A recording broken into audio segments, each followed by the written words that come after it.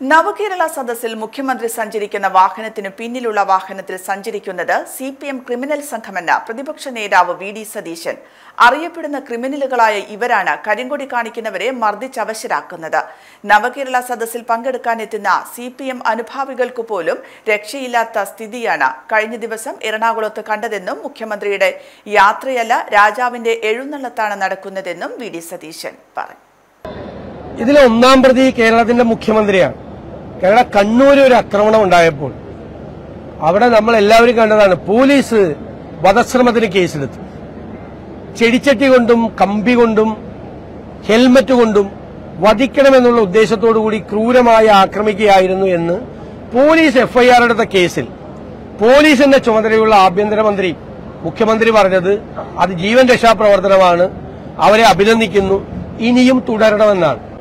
ഇന്ന് കേരളത്തിൽ ഈ നവകേരള സദസ്സുമായി നടക്കുന്ന മുഴുവൻ അക്രമ സംഭവങ്ങളുടെയും ഒന്നാം പ്രതി ഈ കലാപത്തിന് ആഹ്വാനം ചെയ്ത കേരളത്തിന്റെ മുഖ്യമന്ത്രിയാണ്. എങ്ങനെയാണ് മുഖ്യമന്ത്രി പോകുന്നത്? നൂറുകണക്കിന് പോലീസ് വാഹനങ്ങളുടെ അകമ്പടിയുണ്ട്. അതുകൂടാതെ അദ്ദേഹത്തിന്റെ തൊട്ടു മുന്നിൽ സഞ്ചരിക്കുന്ന എസ്കോർട്ട് വാഹനം ആ എസ്കോർട്ട് വാഹനം അവരെ ഏറ്റവും കൂടുതൽ ആയുധങ്ങൾ മാരകായുധങ്ങൾ പുറത്തേക്കിട്ടുകൊണ്ടാണ് പോലീസിന്റെ വാഹനം സഞ്ചരിക്കുന്നത്.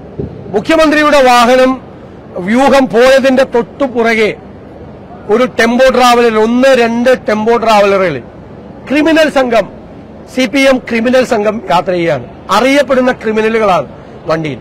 അവരാണ് റോഡരികിൽ നിന്ന് കരിങ്കൊടി കാണിച്ച് പ്രതിഷേധിക്കുന്ന ആളുകളെ ക്രൂരമായി മർദ്ദിക്കുന്നത്. മറൈൻ ഡ്രൈവിൽ ഒരു ഈ പരിപാടിയിൽ പങ്കെടുക്കാൻ വന്നൊരു ഡിവൈഎഫ്ഐ പ്രവർത്തകനെ ക്രൂരമായി മർദ്ദിച്ചു. അതാണ് അതിന്റെ പരിണത ഫലം അതാണ്.